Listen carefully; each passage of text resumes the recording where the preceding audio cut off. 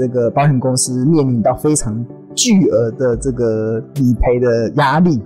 这个理赔压力其实巨额嘛，其实也还好了。像那跟他一季在海外的部位损失三千多亿来讲，那个真的是九牛一毛。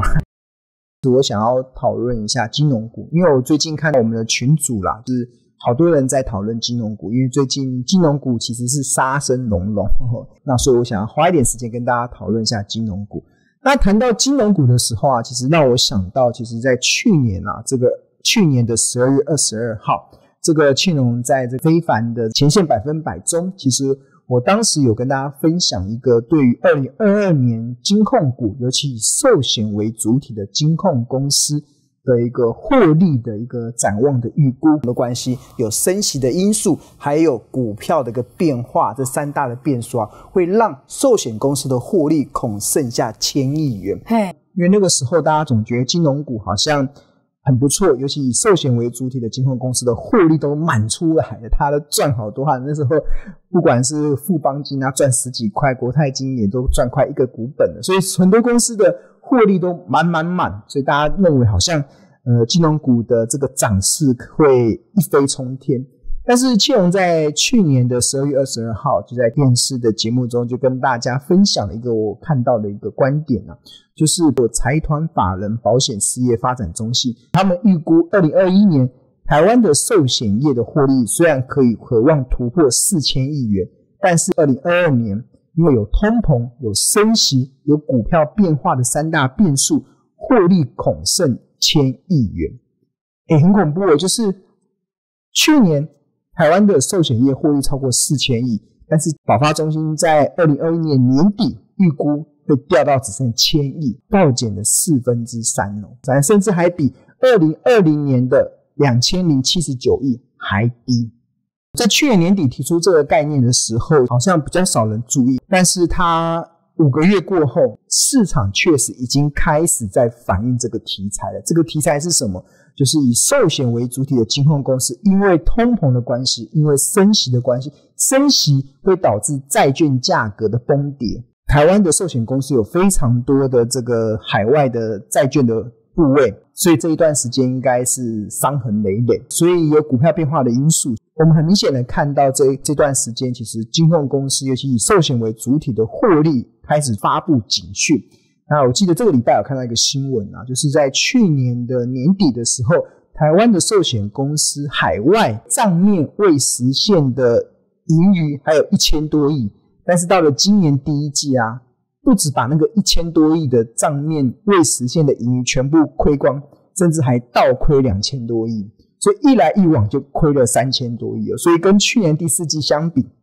过去这一季以来，寿险公司在海外的部位。一来一往少掉了三千多亿，那三千多亿应该接下来就会对获利产生很大的一个冲击嘛？所以这个的讯息出来之后，再加上台湾的寿险公司，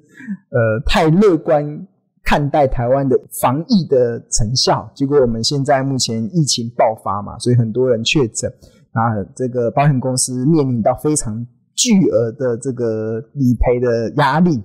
这个理赔压力其实巨额嘛，其实也还好了。像因为现在目前统计不是说保险公司现在目前理赔已经发十八亿了嘛，对啊，那可能未来好了再 double 好了，那给他十倍好了，一百八十亿好了，再多发一百八十亿，那跟他一季在海外的部位损失三千多亿来讲，那个真的是九牛一毛所以。真正造成最近金控公司，尤其以寿险为主体的金控公司股价的下跌，关键真的其实就是海外资产的这个部位大幅的出现亏损的状况，对啊。那当然，这个东西其实庆农在去年的十二月二十二号就已经提出了这个观点。为什么会提出观点？其实也是在告诉大家一件事情，其实就是金融市场啊，永远不缺锦上添花，也永远不缺。落井下石，对吧？因为股票市场中永远存在这两大陷阱。第一个是锦上添花，就是看金融股在涨的时候，就会看涨说涨嘛。那因为看涨说涨过程，它会伴随很多的利多，啊，大家都拍手叫好，对啊。但是金融市场常常都是这样子啊，锦上添花，然后也常常会落井下石。就好比现在，哇，这个金融股可能跌得很稀里哗啦的，大家就开始落井下石，说它可能面临多巨大的亏损啊，可能海外的投资部位啊，防疫的保单亏多少啊，所以就开始看跌说跌，因为开始伴随着很多的利空嘛。那这个其实是蛮危险的，我要跟大家讲，金融市场其实这样子的在做投资是很危险的，就是你没有定见，当你没有定见的时候啊，你就会被市场。的这种锦上添花跟落井下石的讯息所搅扰，在这样的过程中，你在投资的节奏就会大乱，真的就会大乱。那要怎么样不会陷入到股票市场的两大陷阱，就是这个锦上添花跟这个落井下石呢？其实真正的关键就在于你要对股票投资，也或是你所投资的公司要有所定见，要有所定见。那我这边想要跟大家分享的是，呃，大家看到画面是《头家日报》的这个画面，就是二零二一年的十二月二十二号啊，一至十是这一天的日报有十页，那这是第一页。那我们《头家日报》是在商业周刊集团的 Smart 支付月刊所发行的。那我们的 slogan 叫做“聪明抓趋势，投资看日报”。那我们每天的日报有四大的分类，第一个就投资家观点，另外还有企业动态。还有口袋名单，然后另外还有一些经济指数的一些观察。去年十二月二十二号的日报中啊，其实我跟大家分享的是对金融股的一些看法。那为了要让我们的订户更加了解这个金融股的这个评价，所以我非常的完整的去介绍财报分析啊，计算一档股票企业价值的方式，其实有两大类，一种叫内在价值法，一种叫财务比率法。那前者分析的逻辑是以现金流量的折现为基础，优点是容易理解，但缺点是需要投入大量的时间跟精力才能建立一个合理的评价基础。那美国投资大师股神巴菲特就是使用这个方法的佼佼者。那相较于内在价值法、财务比例法，最大的优点就是计算过程简单，而相关财务比例的资讯又可随手可得，因此为目前市场中常见的。评价方式，它主要有分为五大类啊，并且延伸相关的应用如下：第一个就是本益比，第二个就是股价净值比，第三个是股价盈余成长比，啊，第四个是现金报酬率，第五个是股价营收比。那其中本益比啊，除了是台股投资人非常熟悉与常用的评价方式之外，庆隆认为，由于影响本益比的因素还包括 EPS。本益比的倍数，因此投资人如果要选用本益比的评价一家公司的合理的企业价值，就应该完整认识本益比的六种组合，如此才能有效且精准的套用在个股的企业价值的评估上。而这六种分别为近似季 EPS 乘上固定式本益比、近似季 EPS 乘上滚动式本益比、近似季 EPS 乘上预估本益比、预估 EPS 乘上固定式本益比。预估 EPS 乘上滚动式本益比，以及预估 EPS 乘上预估本益比。好，这就是六种。庆隆常常说，你只要弄懂这个本益比的六种组合，你将会天下无敌。了解了上述这六种的本益比的组合，那在二零二一年十二月二十二号的日报中，那庆隆就开始试着透过其中一种方式，就是预估 EPS 乘上滚动式的本益比，来作为金控股企业评价的依据。那其中，二零二二年的预估 EPS 是采用所有法人预估的平均值，并且透过个别股票的滚动式本一笔推算出法人预估的便宜价、合理价格昂贵价。那在这一次的评价中，一共有十三档的金融股纳入到这个口袋名单中，包含了富邦金、国泰金、中信金、元大金、开发金、星光金、台新金、兆丰金、第一金、玉山金、和库金、永丰金跟华南金这十三档。这边有它的二零二一年的 EPS，还有它二零二二年的法人预估的 EPS，然后有它的预估的值利率。那根据这个二零二零的预估的 EPS，然后再搭配滚动式的本益比，然后就可以合理推估出每一家公司它的便宜价是落在什么地方，合理价是落在什么地方，昂贵价是落在什么地方。所以我们现在来看哦，像富邦金，它的便宜价落在五十六，合理价落在六十七，昂贵价落在七十八块。好，那我们来看一下这个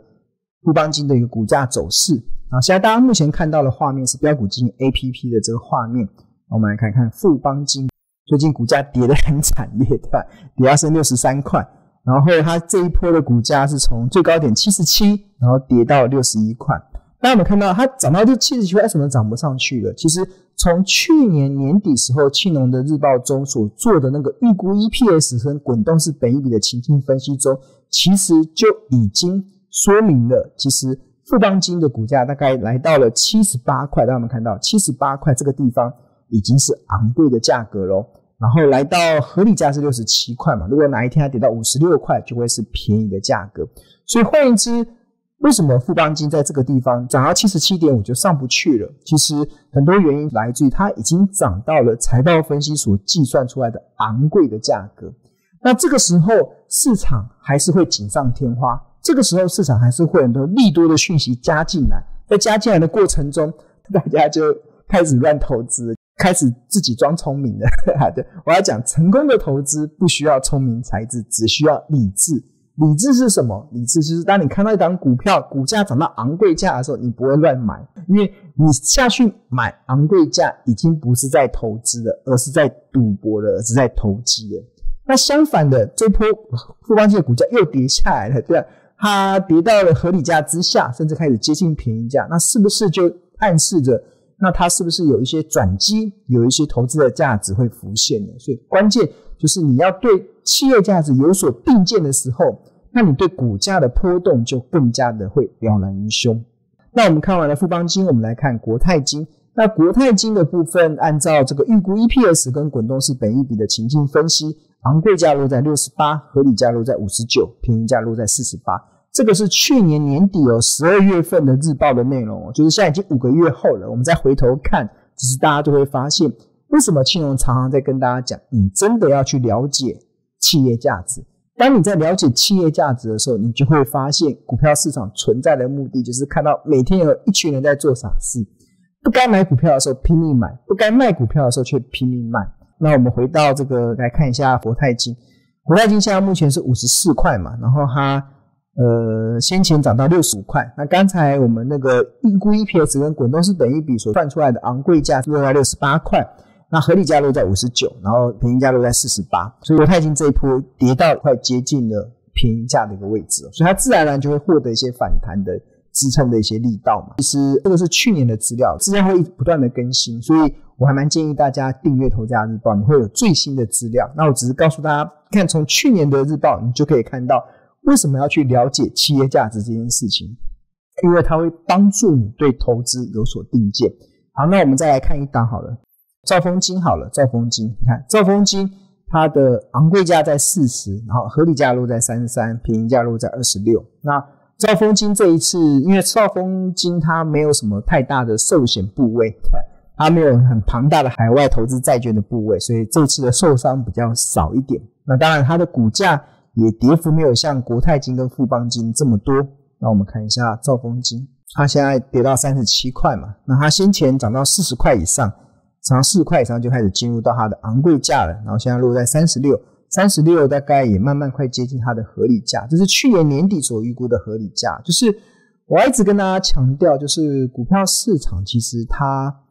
永远不缺锦上添花，永远不缺落井下石。所以你在投资的时候，如果你一直跟着锦上添花的讯息这边看涨就说涨，然后跟着落井下石的讯息看跌就说跌，那你你投资会带来你非常大的毁灭，对啊，会带来很大的灾难。因为投资不是这样投资的啦，因为这样投资其实你真的会非常的辛苦，真的会非常的辛苦。我觉得为什么这一波我们在看行情的波动的时候，很多的投资人在那边发表毕业文，好多人在毕业了，对吧？为什么会毕业？是因为你之前的乱投资，对吧？那之前为什么会乱投资呢？其实我觉得很大的关键，大多数的散户都是闭着眼睛在那边乱投资。大家不知道有没有玩过一个游戏啊？就是你。眼睛蒙着一个黑布嘛，然后开始往前走。你一开始蒙着黑布走路的时候，你会心嗲嗲，因为全看不到嘛。那我发现大多数的散户真的都是闭着眼睛在乱投资，你根本不管投资的公司是不是好公司，你根本不管你所买的价格是不是好价格，你就这边乱买乱冲。那当然你现在要写毕业文啊，就是你根本就把股市当赌场。赌场最后的赢家一定是庄家嘛，所以大多数的散户真的都是闭着眼睛在投资。那要怎么去解决闭着眼睛做投资这件事情呢？市场有很多似是而非的观点，很多教学的方式都还是教大家投机，就还是在预测小股的股价波动。那这些投机的方式，在这边预测小股股价波动的，其实对庆文来讲，它也只是给你一根拐杖，投资人还是闭着眼睛在乱投资，只是给你学一些分析的方法，让你有一个拐杖，但是基本上你还是闭着眼睛在走路。还是闭着眼，你只能点点点点到前方一步的路，但是十步路之后会长什么样子，你完全不知道。那那为什么你不正本清源的，你把投资回归到认真的去评量主人的动向，认真的去专注在一家公司的企业价值落在哪里？这时候你就会张开眼睛，你就会看见前方的路。那所以这时候旁边有任何锦上添花或者是落井下石的言论。你当然都会嗤之以鼻，因为你看到远方的路是什么。但是如果你是闭着眼睛，旁边这个时候还有一堆人在那跟你说三道四，那你心里就会慌。然后心里慌的时候，你就会做出很多非理性的一些行为。所以这个就是我看到大多数散户的一个困境啊！大家真的都是闭着眼睛在乱投。有些人他可能很认真去学一些方法，但是市场所教导的很多的方法，其实都还是教你投机，教你赌博。那它的。效果就只是给你一根拐杖，你还是闭着眼睛在乱投资。那为什么不正本清源的从企业价值、从基本面出发？那你就可以真正张开眼睛，而不会去